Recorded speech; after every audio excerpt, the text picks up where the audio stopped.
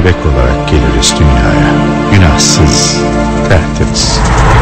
Mal, mülk, makam, mevki, şan, şöhret ve an gelir ayrılırız bu fani hayattan. Öyleyse nedir bu ihtiras? Niçin bu kavgalar? Bu kin, bu nefret niye? Sahi neyi paylaşamıyoruz? İnsana, hayata bakışımızda rehberimiz, peygamberimiz olsun. Unutmayalım, dünya bize, biz birbirimize emanetiz. Daha iyi bir dünya için sevgi, saygı, merhamet. TVNet ekranlarına ve İkiz Ailesi programına hepiniz hoş geldiniz sevgili izleyenler. Mutlu bir hafta sonu geçirmenizi diliyoruz. Ee, Sevgili izleyenler, bugünkü konuğumuz Profesör Doktor İstanbul Müftüsü Profesör Doktor Yahmi Yaran bizlerle birlikte. Tabii ki kamu spotu önceden geldi ama e, biz bu konuyla da alakalı da konuşacağız. Hoş geldiniz öncelikle stüdyomuza. Hoş bulduk. Teşekkür ederim. Ee, şimdi niçin öncelikle bu spor, kamu spotu geldi? Tabii ki bu e, kutlu doğum ayındayız diyebiliriz artık haftası Evet. demiyoruz değil mi? Peygamber Efendimizin doğumunu e, çeşitli etkinliklerle andık diye e, diyelim. E, ama burada önemli bir husus var. Yani öncelikle o soruyla başlamak istiyorum. E, kutlu doğum tanımı birçok kişi tarafından e, aslında tartışmalı da bir konu. Yani kutlu doğum aslında e, Peygamber Efendimiz için e, ifade edilmesi gereken bir doğumunu ifade edememiz doğru bir tanım mı? Yoksa e, bu bizim artık gelenekselleşmiş, kemiksileşmiş bir tanımımız haline mi geldi? Biraz bu e, kavram üzerinden konuşalım mı? Oradan başlayalım mı? Tabii burada asıl olan Peygamber Efendimizin sallallahu aleyhi ve sellem doğumudur. Onun e, doğumu vesilesiyle zaten e, bin sene aşkın bir süredir Mevlid kandilleri düzenlenir. E, Mevlid kandili deyince iki tane takvim var.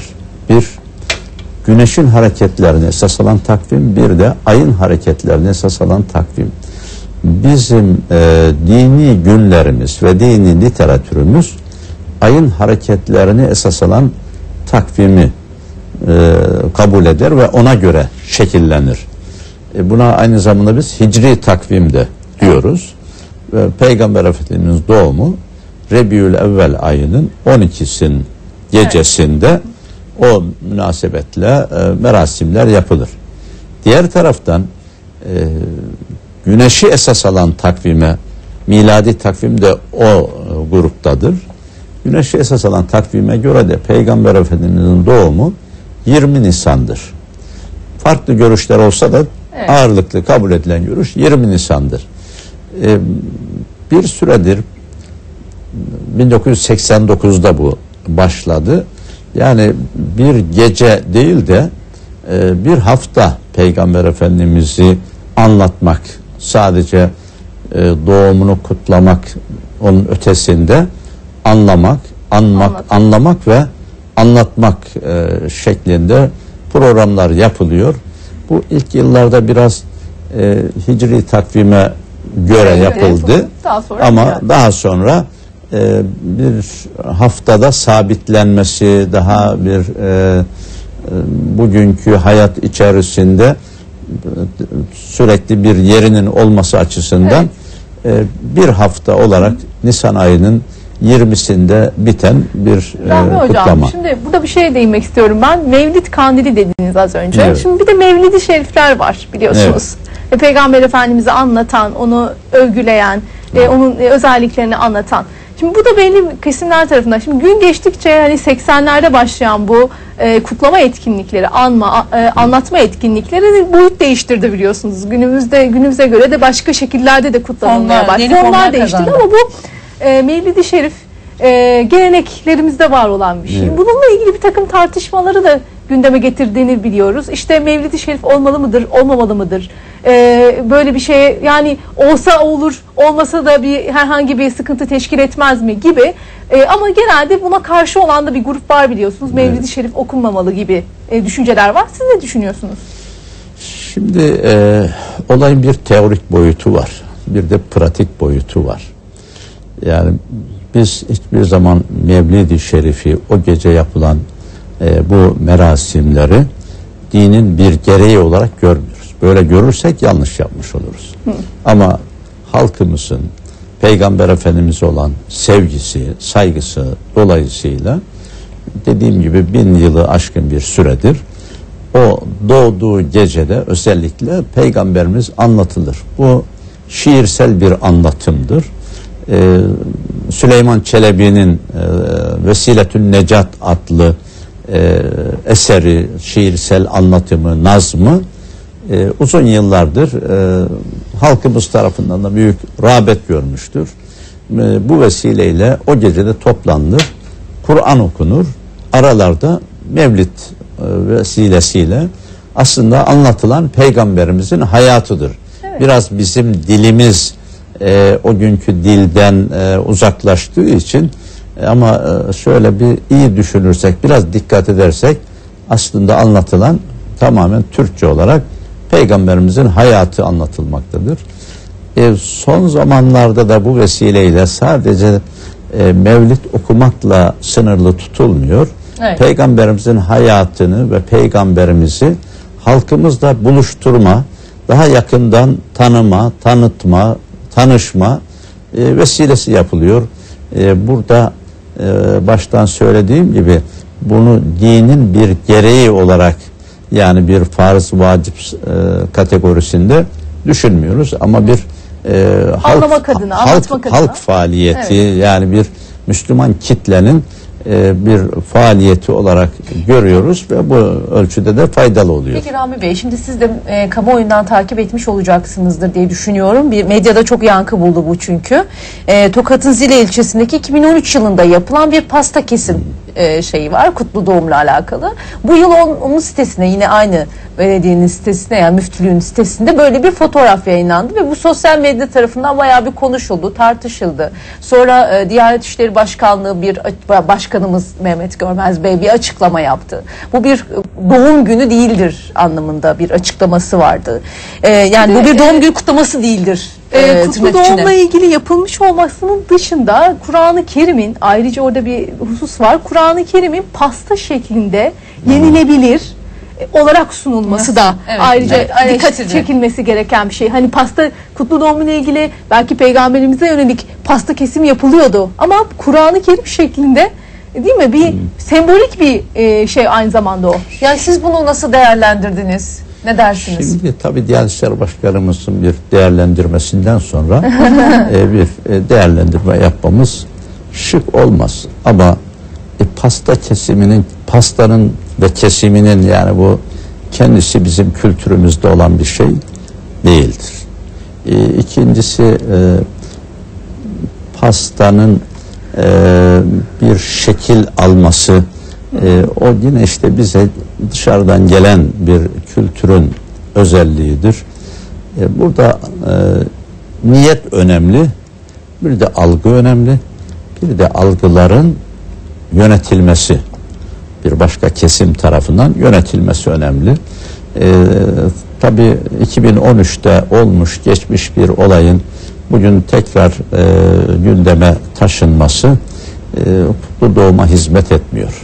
E, bir de- Olmuş gitmiş bir olay Yani, yani, olmuş o. gitmiş ama bir de tabii bu günümüzde ne yapılan şeyler var. Üsküdar'da Üsküdar'da kal, önce yapılan ilk bir kâme maketi sonra kaldırıldı falan. Ya bu tarz e, şimdi bizim dinimizde şöyle bir şey vardı. Elbette insanlar iyi niyetli bir şekilde bunları yapıyor olabilirler de bir şey putlaştırma diye bir e, hadise var. ya, Bizim dinimizde olmayan bir şey. Yani sembolik sembolik e, tamam Kabe e, Kabe'miz bir sembolik anlam taşıyor ama aynı zamanda biz ona Kabe biliyorsunuz şey yapmıyoruz. Onun içindeki anlama. Şimdi e, eğer siz böyle bir Kabe'yi Üsküdar'a gibi bir yere getirmiş ol- olursanız ve gördün mü bilmiyorum Kübra böyle ihramlı biri yanında fotoğraf çektirmiş falan ya böyle bir görüntü e, durumu var. Ya böyle bir şey ihtiyaç niye hissediliyor acaba? Doğrusu e, bu kutlu doğum programına böyle magazinsel unsurlarla girmeyi çok e, şık bulmadım. Onu ifade etmek Magazin isterim. değil ama bu var olan bir şey, e, yapılmış ya- bir şey. Yani bunu gündeme taşıdığınız için birkaç şey söyleyeyim onun üzerine. Yani ben daha çok peygamberimizi anlatmayı tercih ederdim bu e, böyle bir programda. E, biraz önce söylediğim aynı şey burada da geçerli. Aslında e, biz İslam tarihini ve peygamberimizi çeşitli vesilelerle anlatırız. Kabe'nin olsun e, işte başka resimleri vardır. Her yerde vardır. Maketleri de vardır. Yani olmayan bir şey değildir. Burada e, Üsküdar'da da benim aldığım bilgilere göre işte Hira mağarasının bir görüntüsünü, bir görsel olarak oraya koymuşlar. Ee, işte bu arada Kabe'yi, makam İbrahim'i de gelenler görsün diye bir e, maket halinde orada sergilemişler. Yani Kabe'nin neresinde ne var? Bunları biz e, hacca, umreye gidecek olanlara da anlatırız. Yani arkadaşlarımız anlatırlar. Bak şuradan gireceksiniz, buradan döneceksiniz. Burada Hacer Esvet var, şurada e, makam İbrahim var, burada Hicr var.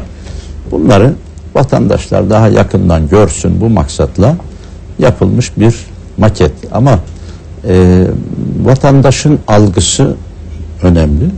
Bir de o algıyı yönetenler var. Onlar da önemli. Şimdi burada e, o e, ihramlı olarak oraya gelenler gelen bir kişi o zaten o maksatlı bir e, geliş onu engelliyorlar. Yani şeyi yapanlar bu e, maket ve bu sergiyi diyelim düzenleyenler Onların arzu ettiği bir şey değil. Onu engelliyorlar ama e, işin aslı unutuluyor.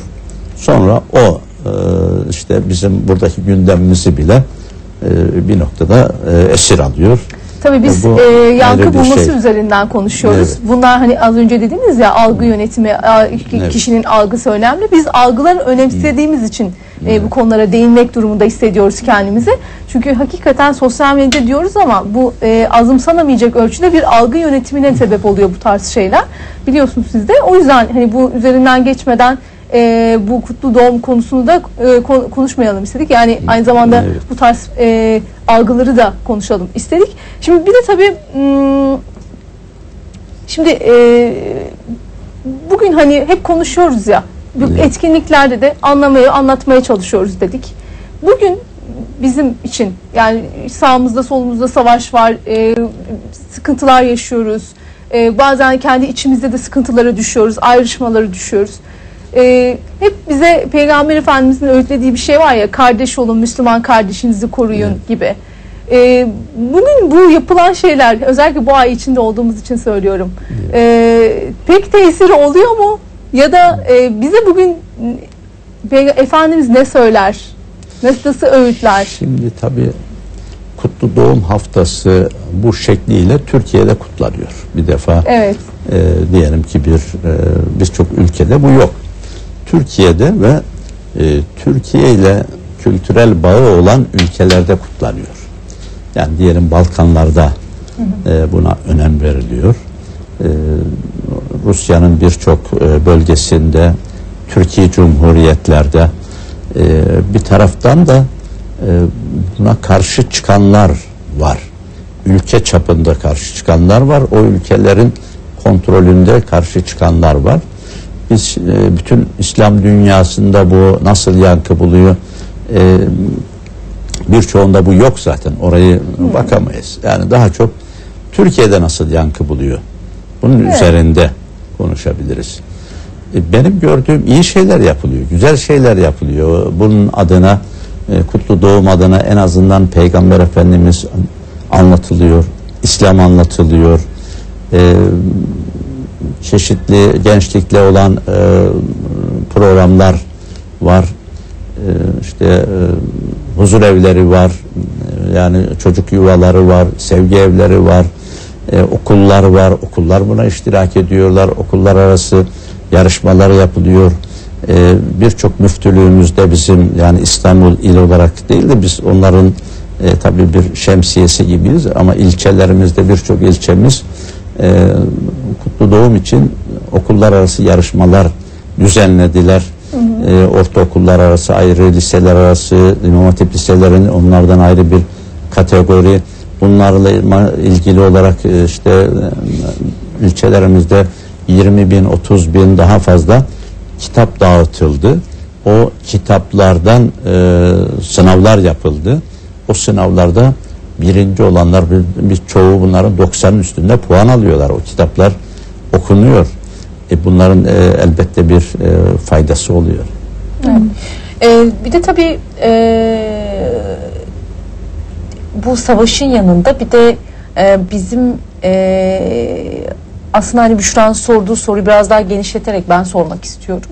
O biraz daha hani var olan e, hani bu kutlu doğum özelinde söylüyor ama genel anlamda bir e, peygamber e, yaşantı biçimi, e, hayat tarzı ve bize örnek olması anlamında. E, az önce hani savaştan bahsetti ama bir de şöyle bir e, durumdayız da aynı zamanda. Bir tarafımızda evet sağımızda solumuzda var ama savaş. Bir de bizim kendi içinde yaşadığımız bir e, bolluk var.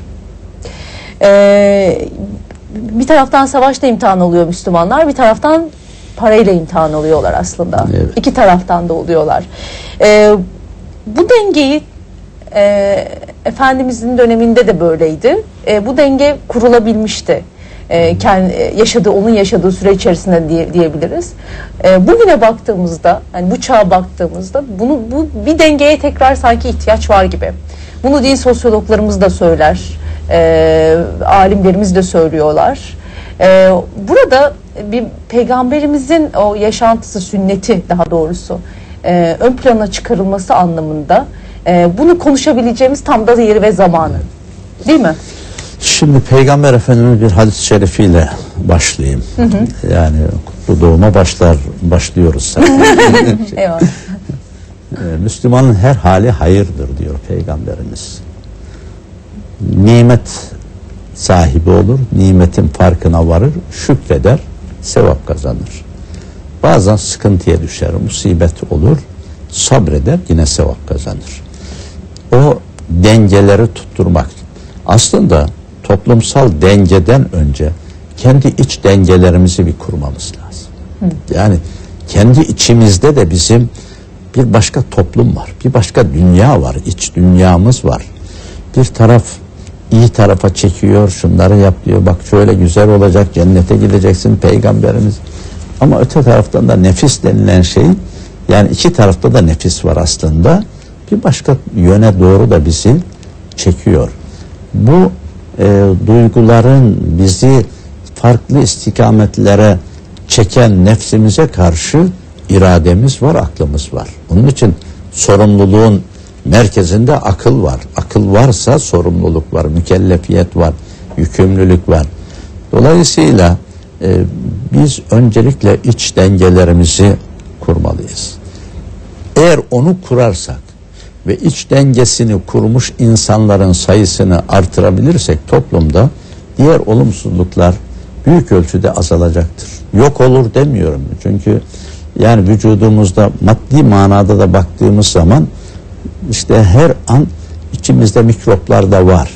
Ama e, onlara karşı koyacak e, bağışıklık sistemimiz vesaire güçlü olduğu zaman Peki o iç dengeyi Gidiyor. Nasıl e, sağlamak evet. lazım? Ha, yani bu e, eğitimle olacak. İç denge eğitimle olacak. Ama eğitim demek okul demek değil. Eğitim demek diploma demek değil. Biz de şimdi eğitimi öyle anlıyoruz. Yani e, diplomalı sayımız çoğaldığı zaman eğitim seviyesi yüksek diyoruz bir ülkenin. E, iyi insanı yetiştirmek. Onun için bizim eskiler ilim ve irfan ikisini birden alim ve arif olmak, hikmet sahibi olmak, hikmetli bir nesil yetiştirmek. e, bu işte bunlarla sağlanacak. Onun için çocuklara Medresede çok önem veriyoruz. eğitimler gibi değil mi? Hayır bunun medrese olması şart değil. Bu bugünkü okulda da olur, hayatta olur. Yani sadece e, ders değil, onun pratiğe yansıması evimizde de olur. Yani evimizde de biz bir eğitim veriyoruz. İlk eğitimi e, annemizden, babamızdan, ailemizin içerisinde alıyoruz. Evet. En önemli eğitim dönemi işte 3 yaş dönemi, 4 yaş dönemi diyorlar. Bugün anlatıyorlar. Yani e, bu dönemleri biz ailemizin içerisinde geçiriyoruz. Ta baştan itibaren e, iyi olmak, iyi örnek olmak, anne baba olarak da iyi örnek olmak, çocuklarımızı iyi yetiştirmek. Onun için Peygamber Efendimizin bir hadis-i şerifi var. Yani yalanın şakasını bile terk etmek. Bugün ailelerde birçok anne baba çocuğuna yalan söylüyor. Yani onu kandırdığını düşünüyor. O anı kurtarmak adına çocuğuna bir şekilde yalan söylüyor. Çocuk onun farkında fark ediyor. E bu çocuk tabii yarın o da e, yalan söylüyor. Çok çok biraz daha şey yaptığı zaman e, kendini işte pembe yalan, beyaz yalan vesaire sevimli diye gösteriyorlar, avut- değil mi? avutma yolları buluyor bu sefer aslında yalan söylemiş oluyor. Peygamberimiz de diyor ki yalanın şakasını bile terk edene ben cennetin ortasında bir eve kefilim diyor. Şakasını bile terk edene. O çok önemli. Yani bugün dediğiniz gibi çok bir de alışkanlık bazı hani diyoruz ya bazı şeyleri çok çabuk alışkanlık haline getiriyoruz. Gıybet gibi, yalan Ha, gibi. Yani önemsemiyoruz ondan sonra Yani halbuki sıradan. büyük bir günah e, bizi e, normal Çok, çok, şartlarda. çok, Fakat çok biz bunları hep e, hayatımıza içselleştirmişiz. Bazılarına hiç dokunmuyoruz. Hani uzak duruyoruz. Dinimizce büyük yasak olduğunu düşündüğü düşün yani söylenen şeyleri yapması toplumca e, aslında baskı gören, toplum tarafından baskı gördüğümüz şeyleri daha çabuk kabulleniyoruz. Evet. Ama aramızda olan işte e, iki kişi arasında olan şeyleri pek öyle işte o sosyal medya etmiyoruz. falan dediniz ya işte Evet. gıybetin Olduğu hatta yer. gıybetin ötesinde hakaretin, iftiranın. Şimdi gıybetle ilgili peygamberimizin bir hadisini paylaşalım. Buyurun. Ee, insanların bugün de var aklına geliyor. Ben yalan söylemiyorum diyorlar. Doğruyu söylüyorum. Hani var bu iş. Peygamber Efendimiz'e aynı soruyu sahabe soruyor. Diyorlar ki ya Resulallah yani biz e, doğruyu söylüyorsak anlattığımız, konuştuğumuz mesele o insanda varsa yine gıybet olur mu? Peygamber Efendimiz diyor ki varsa gıybet olur zaten. Yoksa iftira, İftira olur. olur. Yoksa iftira olur. Yani gıybet, iftira, iftirayı da çok böyle sıradanlaştırdı insanlar. Yani bazı kesimlerde çok rahatlıkla yorum o kadar rahat yorumlar yapıyor ki insanlar hakkında ha- hakikati öğrenmeden bir fotoğrafa bakarak veya birisi bir yalan mı doğru mu bir cümle yazıyor. Onun altına bunu doğru kabul ederek bir sürü yorumlar yazılıyor ve hakaretler yapılıyor. Bunlar çok yanlış şeyler. Evet, Uzak durulması gerektiğini düşünüyor musunuz bu tarz işlerden? Yani sonuçta sosyal medya dediğiniz şey e, hakikaten artık bugün hepimizin içinde o, o- olduğu, Evet. e, takip ettiği en azından içinde olmasak da takip ettiği bir alan ya. E, az önce de belirttiniz iftiranın, e, işte dedikodunun, e, boş aslında boş işlerin de olduğu bir alan olabiliyor zaman zaman. Yani en azından o kontrollü olmak lazım. Yani e, orayı orada kontrollü durmak lazım. Yani içerisinde olmak e, bilmiyorum e, ben olmamaya çalışırım şahsen e, ama eh, gençler bugün oradan uzak duramıyorlar fakat hiç değilse Kontrollü bir şekilde değil mi? kontrollü olmak lazım ve e, orada söylenenlerin hemen doğrudur diye kabul edilmemesi lazım. Orada söylenen birçok şey e, aslında doğru olmayabiliyor. Evet. Devam edeceğiz ama kısa bir aramız var eee, Rahmi Bey. Sonra sohbetimize kaldığımız yerden devam edelim. Kısa bir aradan sonra tekrar birlikte olacağız.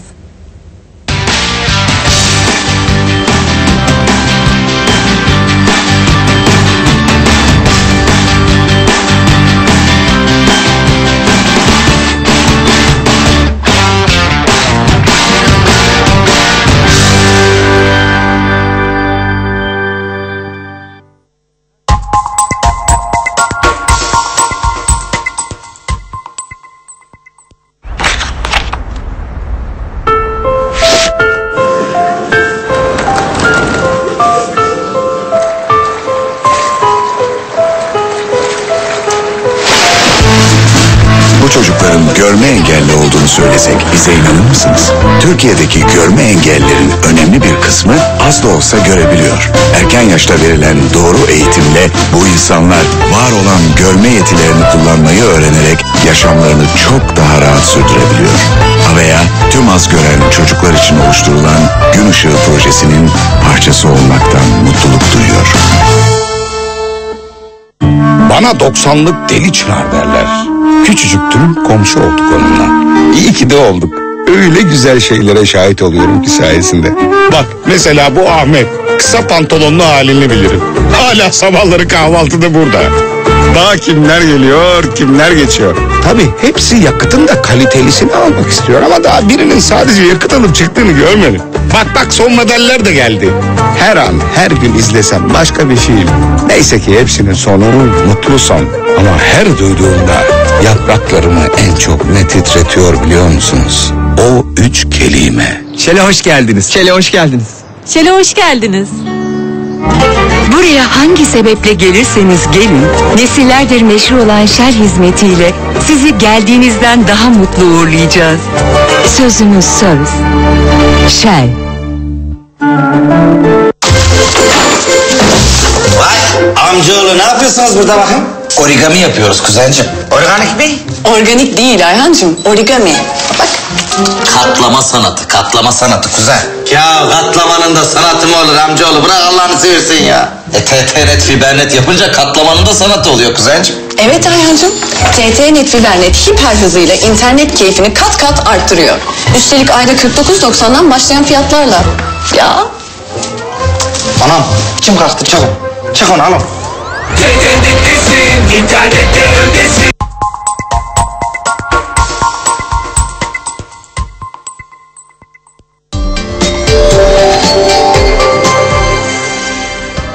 Derin tarihte bu hafta 1915 olayları mercek altına alınıyor. 100. yılında Ermeni tehcirine nasıl bakılmalı? Ermeni isyanında dış güçlerin rolü neydi? Mustafa Budak ve Ebu Bekir Sofoğlu yanıtlayacak. Yavuz Bahadıroğlu ve Mustafa Armağan'la Derin Tarih TV Net'te.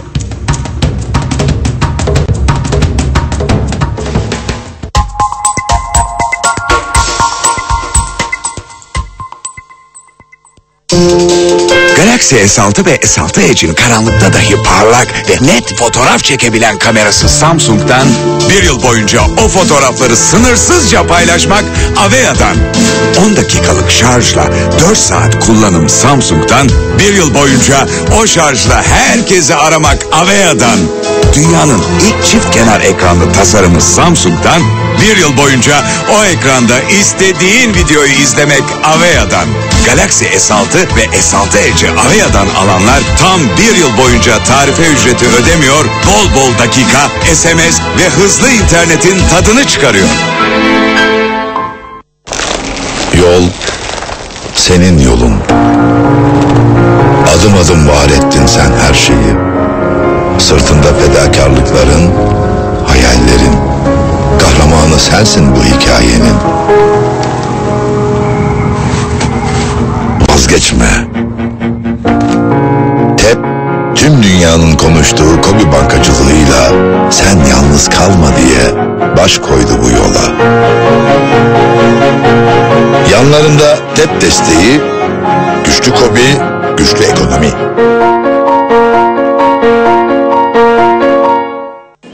Akıncay. Yavrum. Akın çay. Tadıyla farklı çay.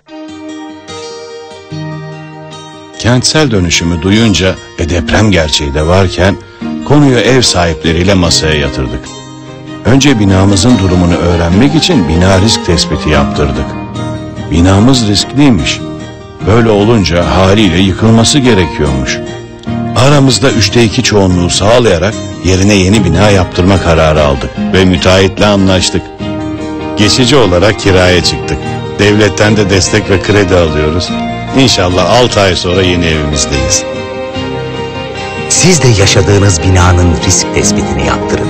Detaylı bilgi için Alo 181 Çevre ve Şehircilik Bakanlığı Baharın binbir tadı Nisan sayısıyla lokmada. Defalarca denenmiş tarifleri, kolay uygulanabilir ölçüleri, mevsimlik gıda önerileri ve dekorasyon fikirleriyle Yemek Dergisi Lokma sofralarımıza renk katmaya devam ediyor. Türkiye'nin en ünlü yemek bloğu Portakal Ağacı'nın hazırladığı damak tadımızı bilen dergi Lokma bu ay börekler ekiyle birlikte. Sakın kaçırmayın.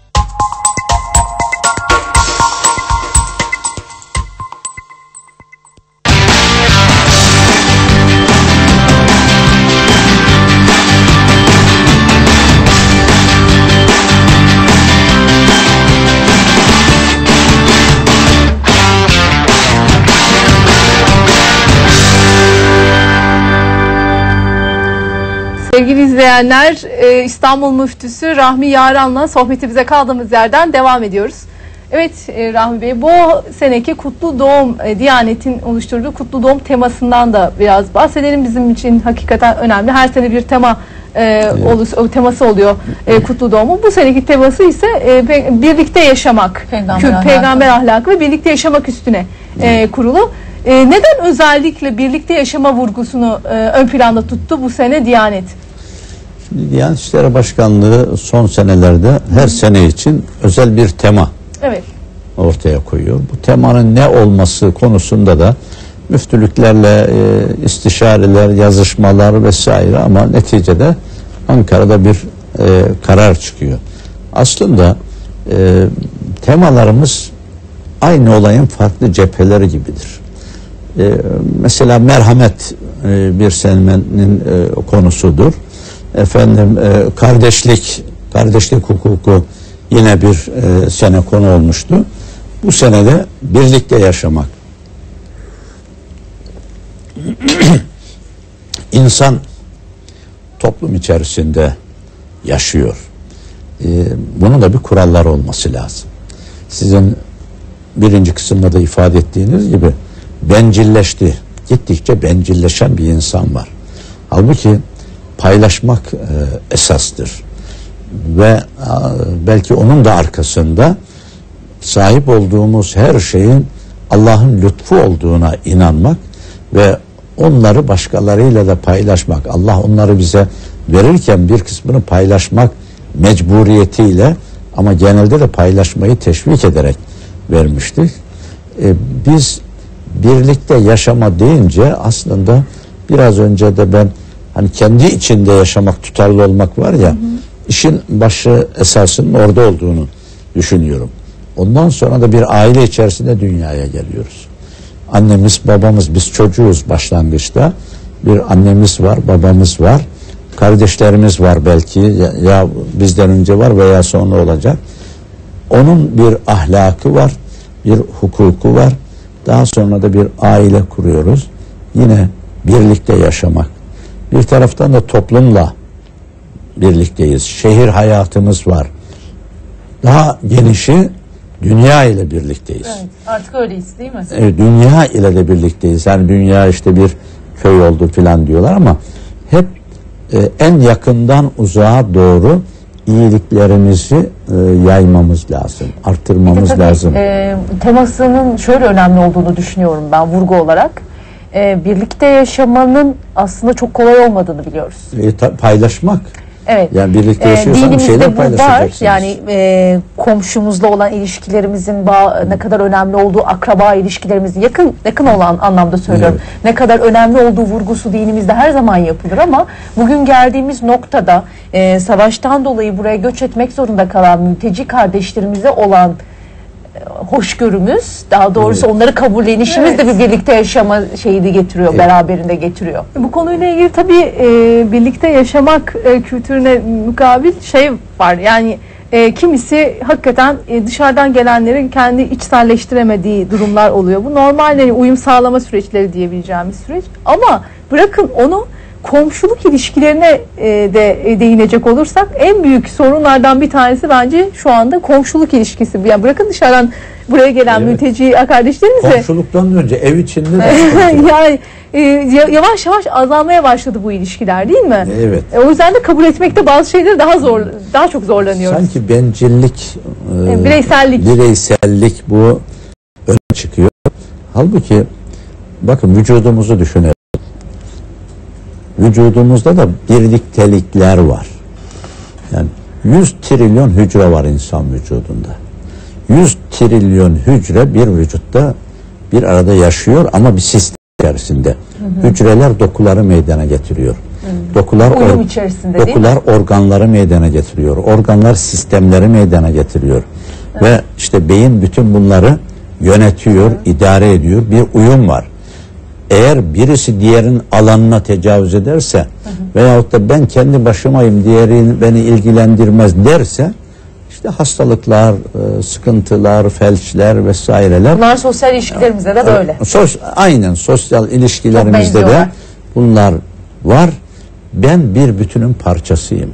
Peygamberimiz zaten bu manada söyler. Mesela Müslümanları bir binaya benzetir. Parçaları birbirine tutan bir bina. Bir bina düşünün. İşte o tuğla oradan hani e, Evet. akıllı canlı olduğunu için. Ben burada durmuyorum kardeşim. Ben yerimi temeldeki dese ki ben yerimi beğenmiyorum buradan ben çıkacağım sen yukarıdasın ben niye orada değilim yani bütün bunlar sıkıntı meydana getirir. Bir başka hadisi Peygamber Efendimizin Müslümanlar birbirini sevmede, birbirine şefkat göstermede, birbirine merhamet göstermede bir vücudun parçası gibidir. Bir vücut gibidir daha doğrusu. Bir vücut gibidir. Nasıl ki bir vücutta bir organ rahatsız olduğu zaman vücudun tamamı mesela uykusuzluk çekiyor, uyuyamıyor, e, ateşleniyor tamamı. Onun gibi bir Müslümanın rahatsızlığı da diğer Müslümanları rahatsız etmelidir. Bu e, Müslümanlar açısından böyle olduğu gibi bazen dünyaya da mesaj veren hadisleri var Peygamberimizin. Mesela Müslüman tarifi var. Diyor ki Müslüman iki farklı rivayeti var bunun. Bir Müslüman elinden ve dilinden diğer Müslümanların selamette olduğu Emin kimsedir. olduğu kimsedir.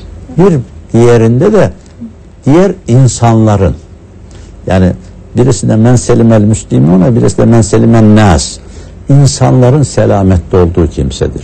Evet. Mümin tarifi de mümin işte o eminlikle alakalıdır.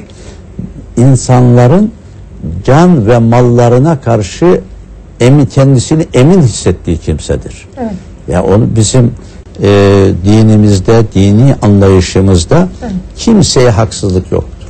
Gayrimüslime de haksızlık yoktur. Ya Müslüman olsun, gayrimüslim olsun bir defa can ve mal emniyeti vardır. Savaş hali hariç, o özel durumlar hariç ama normalde senelerde Osmanlı coğrafyasında daha yakın coğrafyamıza da tarihimize de yakın olduğu için Osmanlı coğrafyası diyorum. Müslümanlar ve gayrimüslimler bir arada yaşamışlardır. Evet. Peygamber Efendimizin zamanında e, Müslümanlar tabi Mekke-i Mükerreme'de yaşayamadılar. Medine-i Münevvere'ye hicret ettiler. Orada Yahudiler, Hristiyanlar, müşrikler hepsi bir arada belli bir hukukun içerisinde bir ahlak sistemi içerisinde yaşadılar. Ama burada ihanet olmamalıdır. Bu da önemli bir husus. Hiyanet olmamalıdır. Yani anlaşma varsa taraflar anlaşmaya hep riayet etmelidir. Bir de tabii ki müftülüğümüzün e, daha doğrusu valilikle yaptığınız bir çalışma var. E, bu önemli bir çalışma çünkü yine buradaki mülteci kardeşlerimizin çocukları, e, Suriyeli e, çocukların eğitimiyle alakalı. Camilerin e, kullanılmayan kısımlarını eğitim e, için tahsis edilmesine dair müftülükle valilik arasında bir çalışma olduğunu biliyoruz. Evet. E, bu çalışma nasıl e, yürütülüyor, neler yapıldı bu konuyla alakalı? Şimdi e, Suriyeli e, İstanbul'da e, önemli sayıda kardeşimiz var. Bunların e, bilhassa çocuklarının eğitim ihtiyacı var. Evet. Bu eğitim ihtiyacı e, büyük ölçüde Milli Eğitim e, İl Milli Eğitim Müdürlüğü'nün e, kontrolündeki okullarda belli bir sistem içerisinde yürüyor. Ama bazen bunlar yetmiyor. Yahut da e, vaktinde e, o eğitim halkasına katılamamışlar ama şu anda boşta olanlar var. Bunlar içinde ilave eğitimler yani gelecek seneye kadar bunların e, eğitime, topluma kazandırılmasına yardımcı olacak çalışmalar var. Bu manada valiliğimizle e, biz e, ilçelerde de kaymakamlıklarımızla ilçe müftülerimiz bir koordinasyon içerisindeler. E, Suriyeli e, çocukların herhangi bir şekilde bir e, eğitim ihtiyacı söz konusu olduğu zaman camilerimizde biz onlara e, bir program dahilinde yine kaymakamlık oluruyla onayıyla yer açıyoruz. E, oralarda eğitimlerine devam ediyorlar. Mesela e, bunun bir kısmı din eğitimi oluyor. Ha, onu soracaktım. Dini- Müfredat nasıl olacak? di- dini eğitimi biz mekan tahsis ediyoruz. Çoğu zaman o Suriyelilerin kendi içerisinde o eğitimi verecek elemanlar da var. Hı hı. Onların kendileri bu eğitimi veriyorlar. E, bizden e, ihtiyaç olursa, bizden talep olursa onu da yerine getiriyoruz. Ama ağırlıklı olarak e, onlar tarafından ama bunun e, tabii bir sistem içerisinde olması lazım. Evet. Bir düzen içerisinde olması lazım. Yoksa bir anarşik ortama doğru da Evet. iş Peki bu kayabilir. çocuklarla ilgili çalışmalar başladı mı? E, var. Bun- bunların e, bir kısmının zaten e, Suriye eğitim müfredatını uyguluyorlar. Evet. Onların orada. E, ama e, bir kısmında da e, işte dini bilgiler, Kur'an öğrenmeleri, diğer taraftan Türkçe öğrenmeleri e, önemli bunlar açısından. Bu bir işbirliği halinde Yürütülüyor. yürütülüyor. Bazen Kur'an kurslarımız buna tahsis ediliyor. Mesela Kur'an kursumuzda sabahleyin bizim öğrencilerimiz varsa e, öğleden sonra da eğer kursumuz müsaitse Suriyeli öğrenciler geliyorlar. Orada eğitim Aslında alıyorlar. bir eğitim, milli eğitime de bir katkı mı olmuş Evet, oluyor? Tabii bir eğitime bir katkı biz e, o manada bir e, mekan tabii bu mekanda e, Sayı güzel bir mekan. e, bu sayı e, sayıları fazla mı yoksa e, bölgeden bölgeye değişiyor mu? Bu ilçelerimizde tabii Suriyeli e, kardeşlerimizin yoğun olduğu ilçelere göre e, değişebiliyor. O, Evet. e, Evet. Ama dediğim gibi hepsi bu eğitime tabi değil, isteğe bağlı olan bir e, eğitim. E, diğer taraftan e, Suriyelilerin burada bazı organizasyonları var. Diyelim ki onların e, işte Suriyeli ali, İslam alimleri var. Şam e, alimleri Birliği var. birliği var. Birliği var. E, e, bunlarla e, İşbirliği olarak halinde. işbirliğimiz var. Onların talepleri üzerine e, onların e, ihtiyaçları ve taleplerine bağlı olarak faaliyetlerimizi yürütüyoruz. Zaman zaman tanışma toplantıları düzenleniyor. E, yine Suriyeli çocuklara e, destek olan vakıflar var, kurumlar var. Onlarla bir koordinasyonumuz söz konusu. Evet. Bir de benim e, daha doğrusu e, önemsediğimiz konulardan biri bu e, cuma hutbeleri aslında. Evet. E, bunlar önemli çünkü artık müftülük bunları organize ediyor bu metinleri ve e, tabii ki zamana göre e, yaşantımızın gidişatına göre e, ve hani gündeme göre muhtemelen de hazırlanıyor. Tabii bunu önce bilgisini sizden de almak istiyorum. E, zamanın işte hassasiyetlerine göre ya da ihtiyaçlarına göre mi bu e, hutbeler düzenleniyor?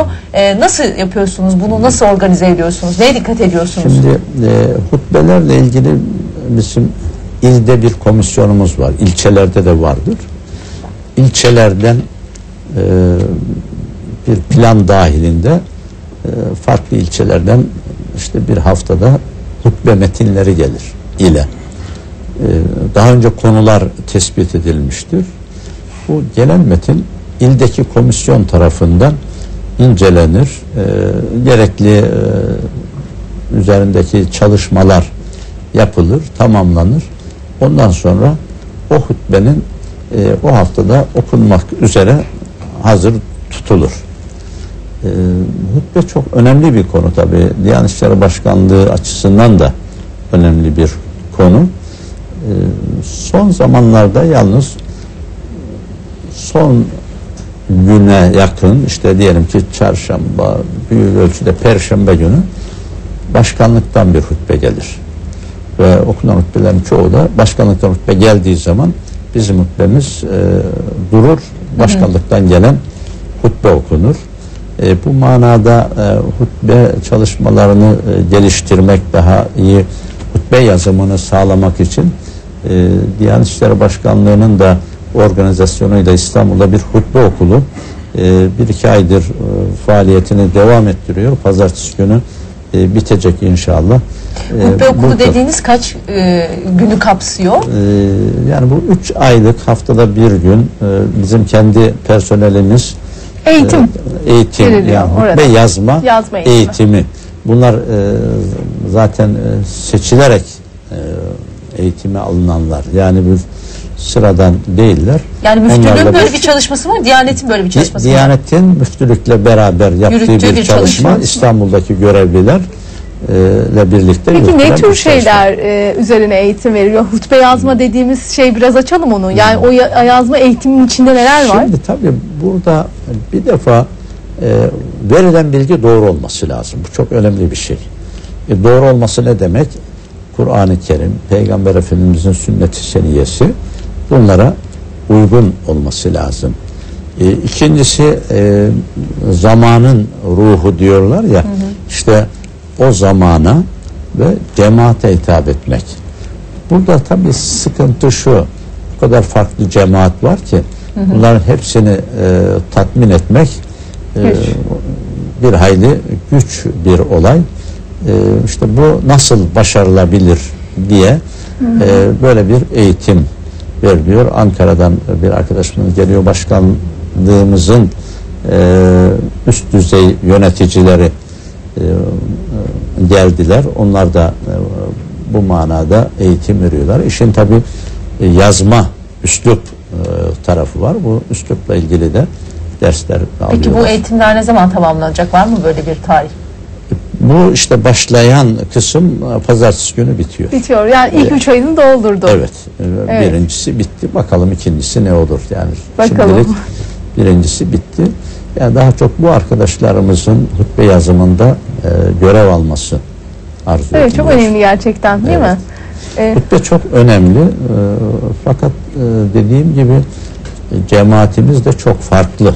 Yani bunların talep ettikleri oluyor mu? Yani özellikle şu konuya niye değinmiyorsunuz? Bir de Şimdi tabii talep e, konusunda cemaatin şunlar var. talepleri de var. Yani talep konusunda doğrusu e, işte vakıflar var, dernekler var vesaireler var, böyle kuruluşlar var. Yahut da e, işte e, özel haftalar var. Evet. Yani bu e, kuruluşların çalışmalarında ilk aklına gelen şu oluyor. E, Diyanete veya müftülüğe söyleyelim bu konuda bir hutbe.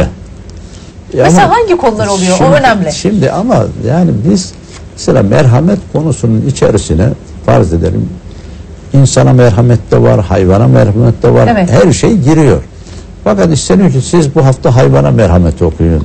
Ha. Yani işte Lokalleştiriyorlar. Ha, lokalleşti. Bu bu biraz da yani onların faaliyet e, Alanlarına ala- giriyor, değil mi? Yani oraya bir faaliyet cümlesinden bir şey Evet. yazılacak. E, biz e, doğrusu daha Yani genel. Acaba şöyle mi? Daha genel Sizin yani. söylediğinizden şunu anlıyorum. Hani mesela 8 Mart Dünya Kadınlar Günü. Kadınlar ya da işte üzerine. hayvan hakları günü. Yani dünya yani e, e, bu tarz bir günlerle ilgili özel hutbeler mi tercih ediyorlar?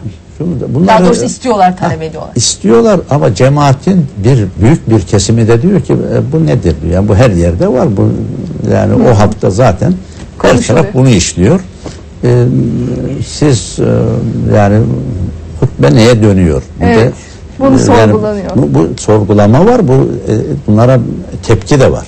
Talep Evet. olduğu kadar Tepki tepki, de de, var. Bütün mesele dengeyi muhafaza edebilmek. Evet. Yani konudan uzak kalmamak Evet. ama konuya da mahkum olmamak. Çok teşekkür ediyoruz. Ağzınıza, ayağınıza sağlık burada konuk oldunuz. Ee, teşekkürler. inşallah başka bir konu üzerine tekrar e, stüdyomuzda konuk olarak görmek isteriz sizi. Çok Peki, teşekkürler. ben de size başarılar diliyorum. İzleyicilerimize sevgi saygılar sunuyorum. Peki. Sağ olun. Sevgili ikiz aynısı izleyenleri bu haftaki konuğumuz İstanbul Müftüsü Rahmi Yaran'dı. Haftaya tekrar başka bir konukla görüşmek üzere. Şimdilik hoşçakalın. Hoşçakalın efendim.